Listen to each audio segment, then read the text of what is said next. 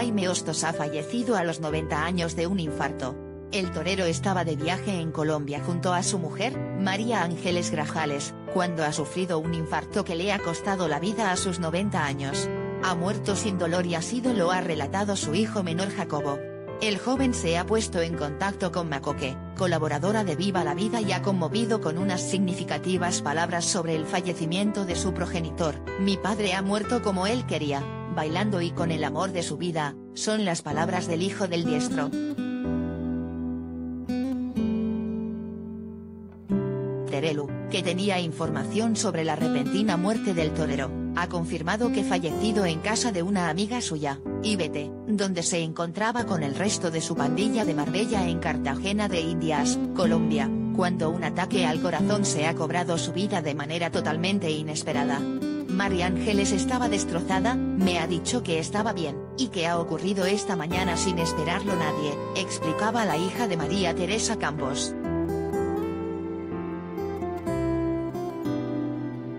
Ha muerto sin dolor y se han dado cuenta de cuando se han despertado. Hasta ayer estaba bailando por bulerías como le gustaba a él, ha explicado el hijo de Jaime, Jacobo. Son casi 91 años y es ley de vida, supongo, ¿no? Lamento que mi último abrazo fue hace 10 días cuando le dejé en el aeropuerto, explicaba el joven aún conmocionado por la noticia de la muerte de su padre tras confesar que hablaba a diario con él a través de videollamada, y lo veía por las fotografías que le mandaba su madre a través del teléfono.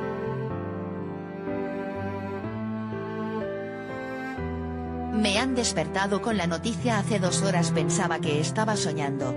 Hasta hace cinco minutos que no he soltado una lágrima, porque no me lo creía. Me ha llamado mi madre, mi tía, Fátima la chica que trabaja con nosotros. Cuando ya te das cuenta de que no vas a poder abrazarle ni besarle nunca más, explicaba entre lágrimas Jacobo en su llamada en directo al programa. Estaba fenomenal, cogió un vuelo y se fue a Colombia. La edad y lo que ha pasado en los últimos 20 años tienen su precio. Ha muerto sin dolor, ha muerto de infarto al despertarse. Pero estaba con el amor de su vida, pero sin sus hijos. He hablado con mi hermana Gaby, que me ha llamado llorando. Con el que no he hablado es con Jaime, que vive en Estados Unidos, pero siempre estaba muy pendiente de él. Todos estábamos muy pendientes de él,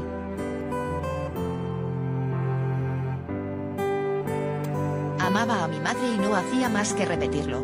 Todos los días lo decía.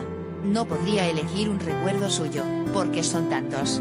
Es una persona que amaba y daba cariño a todo el mundo. Se ha ido feliz y al lado del amor de su vida, acaba despidiéndose su hijo en Viva la Vida.